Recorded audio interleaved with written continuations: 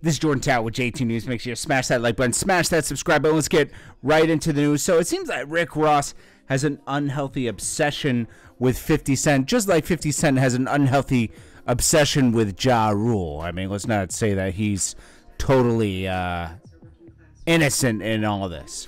Um, so Rick Ross is the, the the thing is, but the, the difference is between Ja Rule and 50 Cent. 50 Cent had a good reason to have a problem with Ja Rule. Ja Rule tried to take him out nine times. Okay. Uh, I would have a problem with somebody too. He was involved in that whole thing with Supreme, Irv Gotti, and everything. He was a part of that. That's why 50 Cent went at them so hard and was determined to destroy their record company. Now, with Rick Ross, he just decided, okay, I'm going to get paid a picture for you. In 2009, Rick Ross wasn't doing so great, believe it or not. He wasn't. He didn't have any great records out. It nothing was sticking at the time. Even though he's an incredible artist, things weren't sticking. He needed attention. Okay, so to bring attention, he just started. There was one. There was one uh, music video he did 50 Cent on. I did, and he was pouring out the 50 Cent like formula. What was it? The, the 50 Cent uh, power drink, whatever it was and I was like, wait a minute, is this guy dissing 50 Cent? So I was like, ah, I must stay kind of clear of this. So I kind of fell back a little bit. And then he did, uh, what was it, Mafia music, did that video. And then in that, he dissed 50 Cent, Floyd Mayweather, everything. And then 50 Cent and him went back and forth. And when he was asked, why did you uh, have a problem with 50 Cent? He's like, I don't like the way he looked at me at an award show. It's like, what a stupid reason to have a problem with somebody. So it continued, and 50 Cent didn't take it seriously, and that was a big mistake.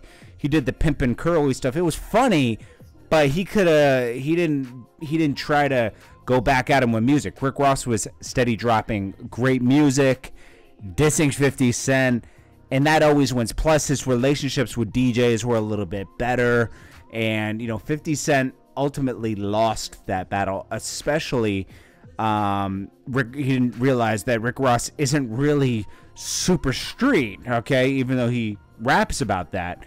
Um, and when 50 Cent cut his baby mom slipping with a uh, explicit tape and put it on his, reposted it on his blog, Rick Ross took him to court with his uh, baby mom, and they won.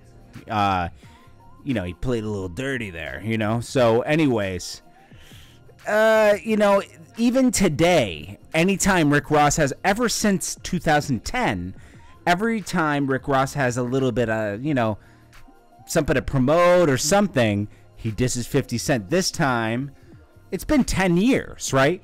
And yet, 50 Cent was asked recently about Ross and the, the BMF song. He said, Yeah, I like that song. I would use it for the series.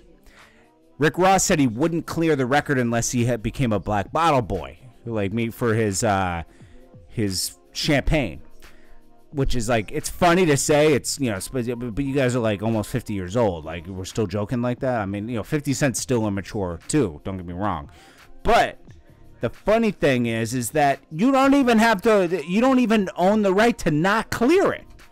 You sold your uh, publishing.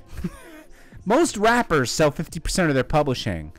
And it's like really if it's a good deal you can't really say no to the clearance. I mean uh him 50 cent doing a series on bmf and he wants to get the bmf clearance. I mean that should be the intro to the show. If you're going to turn that down you're a dummy. It's going to play every weekend and it's also going to do reruns and it's going to be streamed.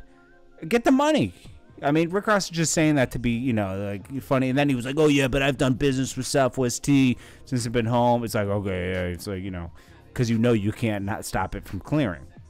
Um, anyways, he keeps this going. I mean, even two years ago, he said, "Yeah, 50 Cent had one cool song or two cool songs.